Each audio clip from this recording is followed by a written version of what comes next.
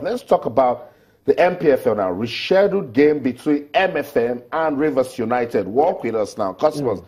MFM Rivers United, that one should give us some fireworks because MFM, they are on good form. Yep. Rivers United need to redeem the image mm-hmm. of the club, mm-hmm. win back their fans, and there's also Shooting Stars and Enugu Rangers. Rangers. Wow. Two massive game. First one, MFM Rivers United. And the fixture last season, um, and it was even played on a Wednesday as well. The official last season, MFM actually won Rivers United, and that was the first loss in the Nigeria Professional Football League last season. Mm. So um, Rivers United need to start winning, but then winning at the um, where a lot of people are now calling Temple of Football at the hmm. Agege Stadium mm. is something that um, is really going to be difficult. MFM needs to win to go on top of the table. They've got goal scorers that are firing. I mean, Stephen Odey, IS goal scorer with 10 goals. Right. Sikiru Olatunbosun, you know, can score mm. goals from mm. anywhere. Is something that is really, really going to be a very interesting one end-to-end stuff. Trust me, I'm going to be at the stadium because it's going to be massive. Now, second game, Shooting Stars against Rangers.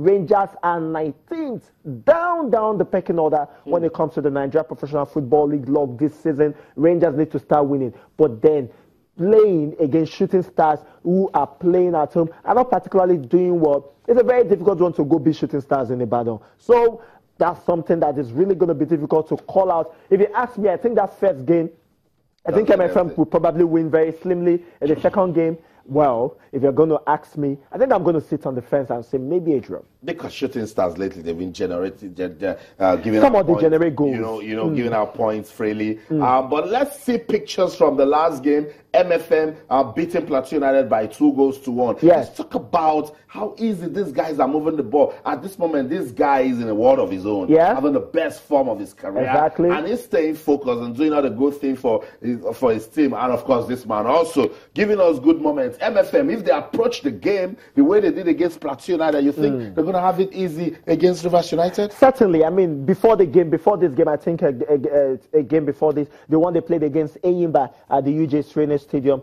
you need to see the mm. way they were very comfortable. Did you see that goal by Stephen Odey? He didn't. It was actually back in the post, but then it just turned a complete striker goal, technically efficient, and he scored a goal. And you know, in the game against. Uh, uh, uh, uh um, Plateau United. I know we felt that there's going to be fireworks. I mean, Look two sides. You only see May so rest in peace. Rashidi Yekini do this in front of exactly. penalty spot. And then this young man beaming with so much confidence, mm. staying focused, playing good football, giving this guy reasons to give us signs we don't understand. MFM at the moment doing and playing good football.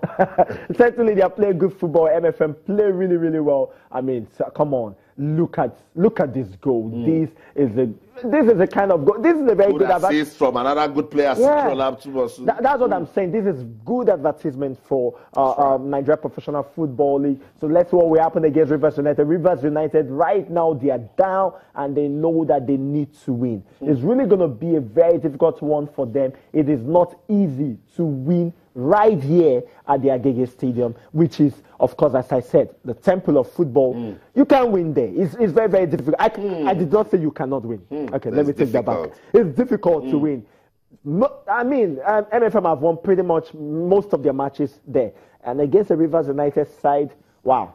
I know Sammy is listening. I know is watching. Not just Sammy, not just Sammy. Uh, Cosmos is a typical Lagos football fan. I'm an MFM uh, fan. Let us let us let us hear from fans of Rivers United. You think your team can bounce back against MFM? Remember, it's at the Agege uh, Township Stadium. Mm. Let's see if Rivers United can do uh, the unthinkable, bounce back, and then you know give their fans something to cheer about. So you know where to be. 4 p.m. Uh, Nigerian time, Agege Stadium. MFM will be taking on Rivers United in a rescheduled Nigeria Professional Football League match, and there's also Shooting Stars taking on um, also playing in that one Rangers Enugu, yeah. Enugu Rangers. So you see, the teams that have been busy on the continent, they're back home now. They need to also play some football. Let's talk about uh, the lower tier. We talk about the NNL, the Nigerian National League. Very, very important because if it's good at that level, we can take that development to the NPFL. And we have already uh, kicked off proceedings in the NNL this season, and we saw some beautiful results. We also recorded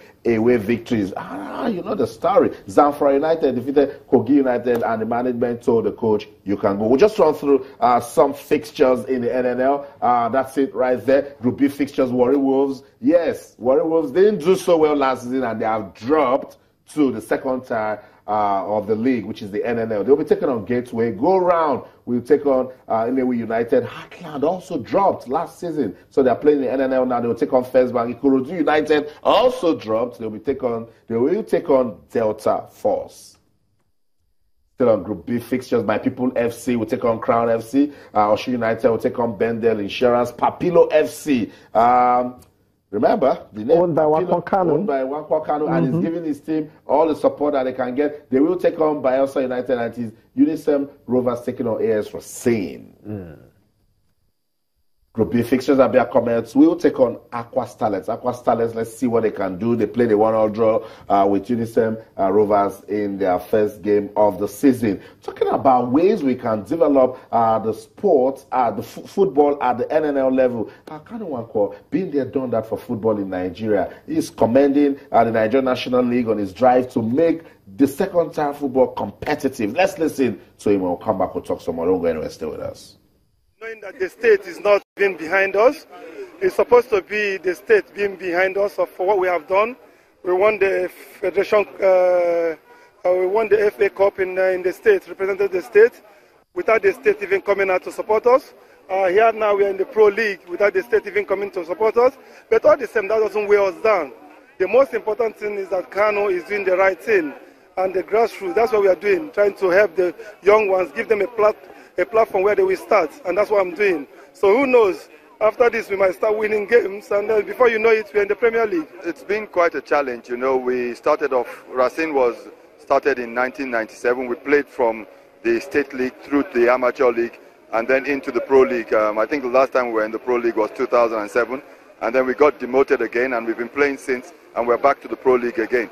Um, it's quite challenging. You know, um, there are quite a few problems uh, especially with generating um, crowds to come in, the lack of um, desire of the crowds to want to pay gate fees, things like that. But um, all in all, there's still a lot of satisfaction because um, our club is more or less a grassroots club. AS Racine means Racine in Racine in, in, in, French means roots.